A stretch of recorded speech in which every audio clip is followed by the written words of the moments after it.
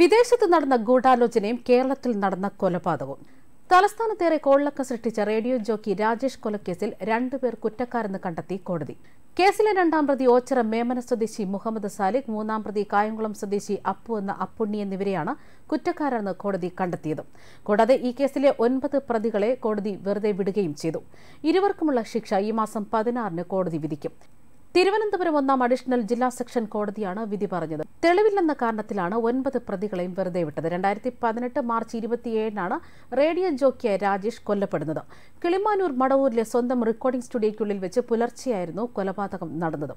മുഹമ്മദ് സാലിഹിന്റെ നേതൃത്വത്തിലുള്ള കൊട്ടേഷൻ സംഘം സ്റ്റുഡിയോയിൽ കയറി രാജേഷിനെ വെട്ടിക്കൊലപ്പെടുത്തുകയായിരുന്നു.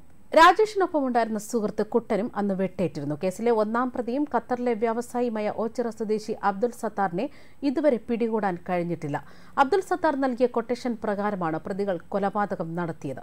സത്താറിന്റെ ഭാര്യയും നൃത്ത അധ്യാപികയുമായ യുവതിയുമായി മുൻപ് വിദേശത്ത് ജോലി നോക്കിയിരുന്ന രാജേഷിനുള്ള സൗഹൃദം കാരണം സത്താറിന്റെ കുടുംബമടക്കം തകർന്നിരുന്നു. ഇതിന് പ്രതികാരമായി സത്താർ നൽകിയ കൊട്ടേഷനായിരുന്നു രാജേഷിന്റെ കൊലപാതകം. ഈ കേസിലെ രണ്ടാം പ്രതിയും സത്താറിന്റെ ജീവനക്കാരനുമായ ഓച്ചിറ മേമന പനച്ചമുട്ടിൽ സ്വദേശി മുഹമ്മദ് സാലിഹ് എന്ന സാലി ഖത്തറിൽ നിന്നും നേരിട്ടെത്തിയാണ് കൊലപാതകം ആസൂത്രണം ചെയ്ത് നടപ്പിലാക്കിയത്. കൊലയ്ക്ക് പിന്നാലെ വിദേശത്തേക്ക് രക്ഷപ്പെട്ട സാലിഹിനെ നാട്ടിലെത്തിച്ചാണ് പോലീസ് അറസ്റ്റ് ചെയ്തത്. രണ്ടായിരത്തി പതിനെട്ട് മാർച്ച് ഇരുപത്തിയാറിനാണ് മടവൂരിലെ സ്റ്റുഡിയോയ്ക്കുള്ളിൽ വെച്ച് പ്രതികൾ രാജേഷിനെ വെട്ടിക്കൊലപ്പെടുത്തുന്നത്. ഖത്തറിലെ വ്യവസായി സത്താറിന്റെ ഭാര്യയുമായി രാജേഷിനുണ്ടായിരുന്ന സൗഹൃദത്തിലുണ്ടായ സംശയമാണ് ഈ കൊട്ടേഷന് പിന്നിൽ. സത്താറിന്റെ തന്നെ സ്ഥാപനത്തിലെ ജീവനക്കാരന് സാലിഹ് എന്ന അലിബായ് വഴിയാണ് കൊട്ടേഷൻ നടപ്പാക്കിയത്. നേപ്പാൾ വഴി കേരളത്തിലെത്തിയ സാലി കൊട്ടേഷൻ സംഘങ്ങളെ കൂട്ടാൻ ഒരു വാട്സപ്പ് ഗ്രൂപ്പും ഉണ്ടാക്കി.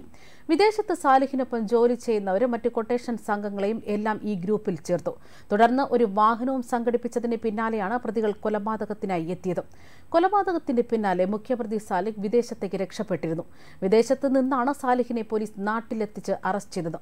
ഈ കേസിലെ ഒന്നാം പ്രതിയും ഖത്തറിലെ വ്യവസായിയുമായിരുന്ന അബ്ദുൾ സത്താർ ഇപ്പോഴും വിദേശത്ത് തന്നെയാണ്.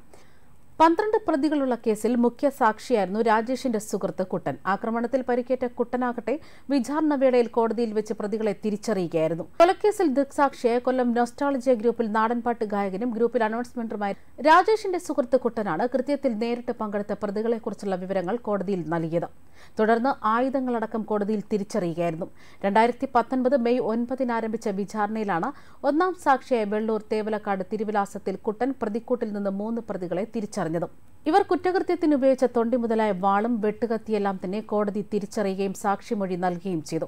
സംഭവ ദിവസം രാത്രി ക്ഷേത്രത്തിൽ ഉത്സവ പ്രോഗ്രാം കഴിഞ്ഞ് കുട്ടനും രാജേഷും മടവൂർ മെട്രാസ് റെക്കോർഡിംഗ് സ്റ്റുഡിയോയിൽ റെക്കോർഡിംഗ് ജോലി ചെയ്യും മുമ്പ് ഭക്ഷണം കഴിക്കവേ അർദ്ധരാത്രി ഒന്നരയ്ക്കും ഒന്ന് നാൽപ്പത്തി അഞ്ചിനും ഇടയ്ക്കാണ് പള്ളിക്കൽ ഭാഗത്തുനിന്ന് ഒരു ചുവപ്പ് നിറത്തിലുള്ള മാരുതി സ്വിഫ്റ്റ് കാർ സ്പീഡിൽ കൊണ്ടുവന്ന് സ്റ്റുഡിയോയ്ക്ക് മുൻവശം നിർത്തിയത്. രണ്ട് മൂന്ന് സെക്കൻഡുള്ളിൽ വണ്ടിയെടുത്ത് തുമ്പോട് ഭാഗത്തേക്ക് പോയി. അഞ്ച് മിനിറ്റിനുള്ളിൽ ഈ കാർ വീണ്ടും തിരിച്ചു വന്നു. ആദ്യം നിർത്തിയ അതേ സ്പോട്ടിൽ നിർത്തിയിട്ട് വീണ്ടും പള്ളിക്കൽ ഭാഗത്തേക്ക് പോയി. പതിനഞ്ച് മിനിറ്റിനുള്ളിൽ കാർ വീണ്ടും തിരികെ എത്തി. കുട്ടൻ ഉടൻ തന്നെ സ്റ്റുഡിയോ പടിയിറങ്ങി താഴെ റോഡിലേക്ക് വന്നു. അപ്പോൾ പുറകുവശം കാറിന്റെ ഡോർ തുറന്നിറങ്ങി വന്ന തൻസീർ എന്ന പ്രതി എന്നെ വെട്ടുകത്തിക്കൊണ്ട് വെട്ടുകയായിരുന്നു എന്നാണ് കുട്ടൻ പറഞ്ഞത്. വെട്ട് കൈകൊണ്ട് തടുത്തപ്പോൾ തോളിലും കൈമുക്കിലുമായി കൊണ്ട് മാരകമായി പരിക്കേറ്റിരുന്നു. തുടർന്ന് അയാൾ ആയുധവുമായി സ്റ്റുഡിയോയിൽ വരാന്തയിൽ നിന്നു. ഈ സമയം കാറിന്റെ മുൻവശം ഡോർ തുറന്ന വാളുമായി അലിഭായ് സ്റ്റുഡിയോയിൽ ഓടിക്കേറി. രാജേഷിനെ മൂന്ന് നാല് വെട്ടുവെട്ടി. അത് കഴിഞ്ഞ് വാളുമായി കയറിയ അപ്പുണ്ണി സ്റ്റുഡിയോയിൽ കയറി രാജേഷിനെ വീണ്ടും വെട്ടുകയായിരുന്നു. ഇതിന് പിന്നാലെ സ്റ്റുഡിയോയിലേക്ക് അപ്പുണ്ണി കയറി രാജേഷിനെ വെട്ടുകയായിരുന്നു. താൻ ഭയന്ന് സഹായം അഭ്യർത്ഥിച്ച് സമീപ വീടുകളിലേക്ക് പോയെന്നാണ് കുട്ടൻ പറഞ്ഞത്. അപ്പോഴേക്കും പ്രതികൾ കൃത്യം നിർവഹിച്ച് തിരികെ പോയി. തന്നെയും രാജേഷിനെയും ആദ്യം പാരിപ്പള്ളി മെഡിക്കൽ കോളേജിൽ എത്തിച്ചു. തുടർന്ന് രാജേഷ് മരണപ്പെട്ടതായി ഡോക്ടർ സ്ഥിരീകരിക്കായിരുന്നു തന്റെ പരിക്ക് ഗുരുതരമായതിനാൽ തന്നെ തിരുവനന്തപുരം മെഡിക്കൽ കോളേജിലേക്ക് റെഫർ ചെയ്യുകയായിരുന്നു. ഒന്നര മാസത്തിനുള്ളിൽ തന്നെ തിരിച്ചറിയൽ പരേഡിന് പൂജപ്പുര സെൻട്രൽ ജയിലിലേക്ക് കൊണ്ടുപോവുകയും അവിടെ ഒരു വനിതാ മജിസ്ട്രേറ്റിന് മുന്നിൽ താൻ മൂന്ന് പ്രതികളെയും തിരിച്ചറിഞ്ഞു എന്നാണ് കുട്ടൻ പറയുന്നത്. News desk Karma news.